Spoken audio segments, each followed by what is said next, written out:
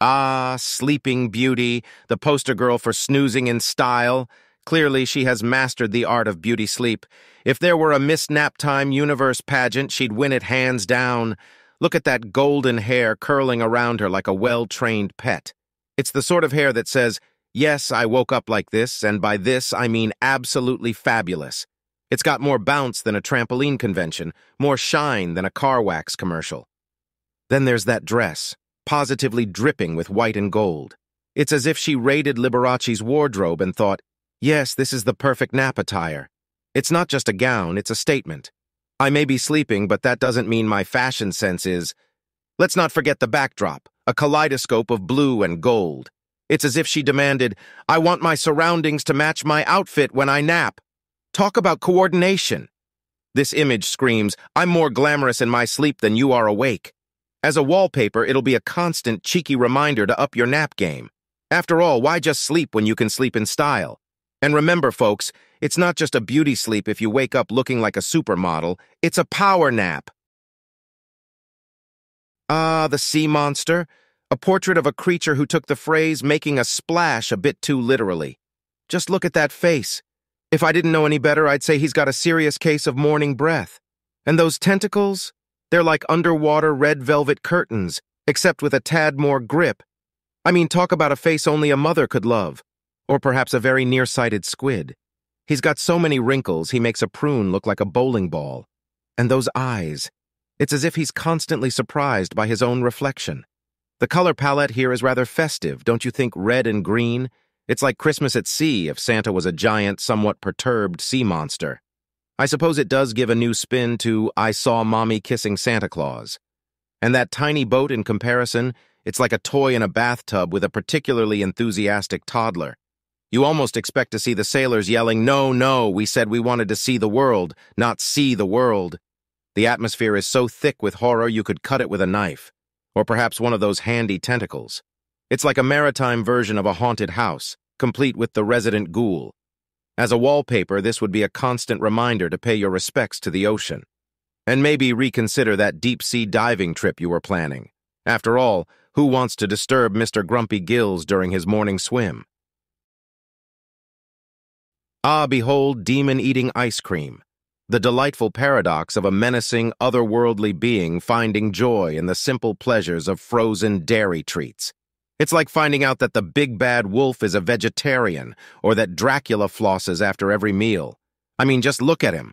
With those red eyes, red horns, and a blue face, he's like a walking, talking traffic light that got stuck on caution.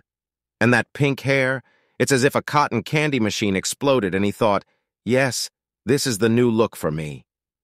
His orange and brown jacket has a touch of 70s disco fever about it.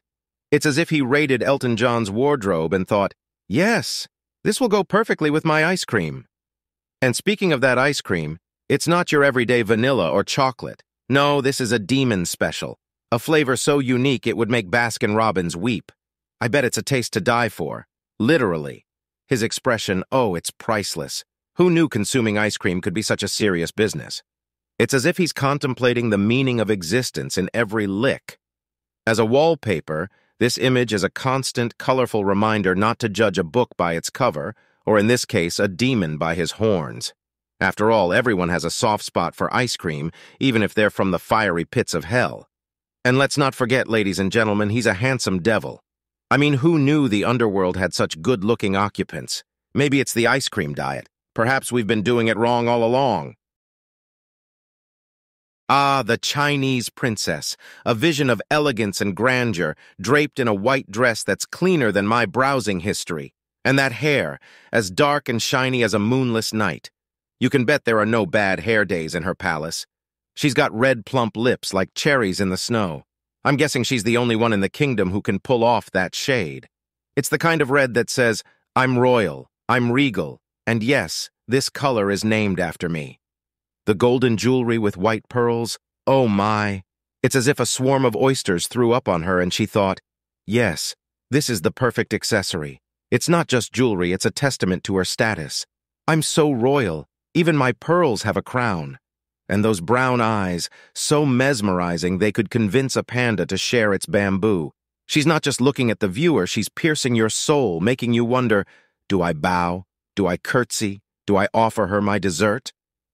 Now, as a desktop wallpaper, this is not just an image, it's an experience.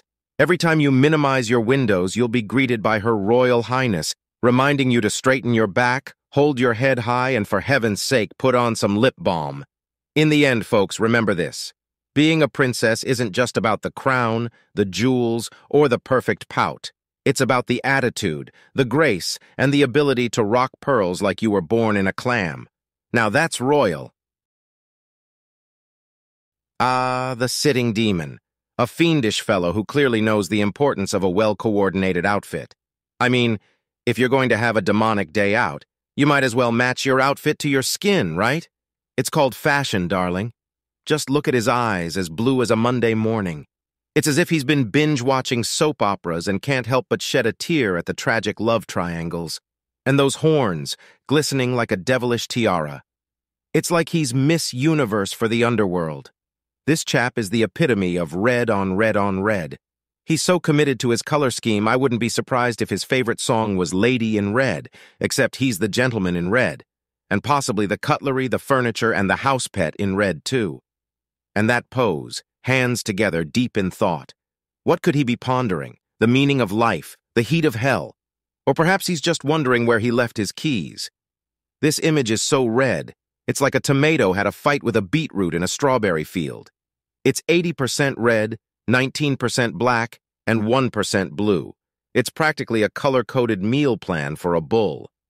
As a wallpaper, this image would be a constant reminder of the importance of color coordination and the fact that even demons have their thoughtful moments.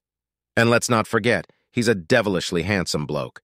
It's almost enough to make you overlook the whole demon thing. Ah, Zeus, god of lightning the electrifying epitome of power and control. Now here's a guy who knows how to make an entrance. He doesn't just walk into a room, he arrives in a crackling, dazzling display of light. Talk about being the life and light of the party. Look at him, all muscles and might, like he's just finished a particularly challenging session of celestial CrossFit. His biceps alone could bench press Mount Olympus. And that gray beard and hair, they scream silver fox louder than a hound on a hunt. His eyes, oh, they're as red as a sunburnt tomato. It's like he's been up all night binge-watching his favorite series on Olympus Plus and forgot the eye drops. Now that's commitment. And that lightning, oh my. It's not just for show, you know. It's his own personal bug zapper. Pesky flies don't stand a chance. It's also great for a quick barbecue or jump-starting a stalled chariot. As a wallpaper, this image is a powerful reminder to charge ahead in life, pun absolutely intended, and seize each day with the confidence and vigor of a Greek god. Each time you glance at your screen, you'll be inspired to face your challenges head on, and maybe, just maybe, consider signing up for that gym membership. And let's not forget, Zeus is a good-looking guy. I mean, who knew the god of lightning could also be the god of smoldering looks? It's enough to make you want to brush up on your ancient Greek mythology. Remember, folks, it's not just a myth if you can rock a beard like that. Ah, Blackhorn Monster, the living embodiment of size matters. This guy makes Godzilla look like a house gecko. Just one look at him and even the bravest knights would say, Nope, I think I left my courage in my other pants. Those black horns are like twin skyscrapers of terror, making even the bravest soul consider a career in running away very fast. It's like he headbutted a tree, got stuck with a couple of branches, and thought, yes, this is my new look. The landscape matches him perfectly, black, rough, and as welcoming as a porcupine in a balloon factory. It's the kind of place that makes Mordor look like a summer resort. And that red mouth. It's like he's been snacking on chili peppers and forgot his chapstick. With a mouth that fiery, who needs a barbecue? He's the ultimate grill master. The tiny human in the frame really gives a sense of scale. I mean, compared to this beast, we're all just ants waiting to be squished. Talk about an inferiority complex. As a wallpaper, this image is a constant reminder that no matter how bad your day is going, at least you're not facing off against a four-legged, horned behemoth. And let's not forget, despite his monstrous appearance, he's rather impressive, in a terrifying, keep-you-awake-at-night kind of way. Remember, folks, it's not the size of the monster in the fight. It's the size of the fight in the... Actually, scratch that. In this case, it's definitely the size of the monster. Well, feast your eyes on Evil Android Skull, the piece that asks the question, what if the Terminator and Skeletor had a baby?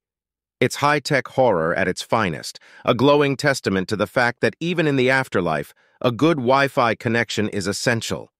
Just look at those red glowing eyes, like twin laser pointers set to incinerate. They're not just staring at the viewer, they're downloading your soul. It's like he's got his own personal hotspot, but instead of Wi-Fi, it's pure, unadulterated terror. And that mouth, oh my, it's like a furnace in the middle of a summer heat wave. I bet he never has to worry about food getting stuck in his teeth, mainly because anything that dares to venture into that fiery furnace of a mouth is promptly toasted to a crisp. The orange and black background adds a touch of Halloween flair. It's like he's perpetually ready for trick or treating, and by that, I mean he's the trick that makes you want to hand over all your treats. The dynamic and exaggerated facial expressions give him a certain charm. If by charm, you mean the ability to haunt your dreams for the foreseeable future. As a wallpaper, this image is a constant reminder that even in the age of technology, there's room for a good old-fashioned scare. Each time you look at your screen, you'll be greeted by his fiery gaze, prompting you to update your antivirus software and maybe consider investing in a fire extinguisher. In the end, folks, remember this. He may be an evil android skull, but he's our evil android skull. And in a strange, spine-chilling way, that's kind of comforting, or maybe that's just the fear talking.